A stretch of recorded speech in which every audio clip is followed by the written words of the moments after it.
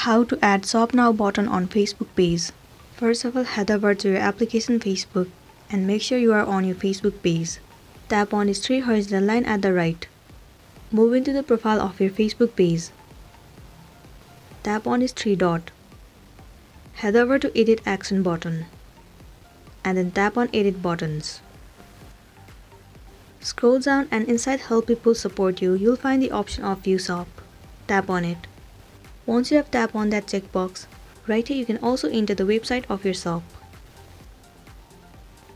Once it is done, just tap on save at the bottom.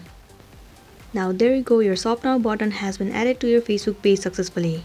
Now it will be easy for people to view your shop and buy your products.